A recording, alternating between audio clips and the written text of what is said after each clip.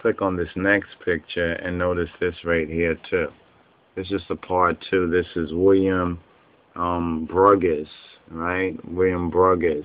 So when we click on this pic right here, let's just click on this pic, get a slightly better resolution. You can see that there too. You can, you can see the that racial identity. Notice the contrast, even though this might have been tampered with.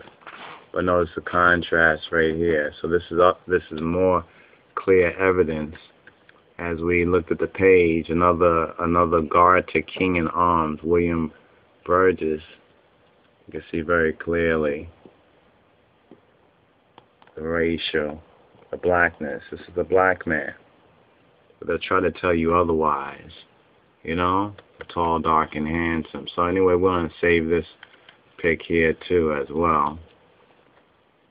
Alright, and that was from this link right here. Down here, once again, that was from this page, that link with this page here.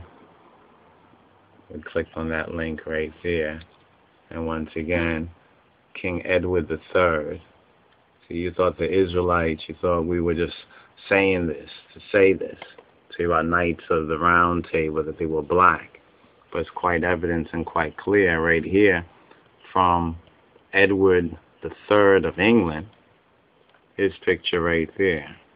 Right? And going back to our search, our original search, you can see it, it's amongst great kings, the King of Kings. Right? Kedamawi Haile Selassie. So Edward III, His Imperial Majesty, Ethiopia. You're beginning to see the link with the black nobility.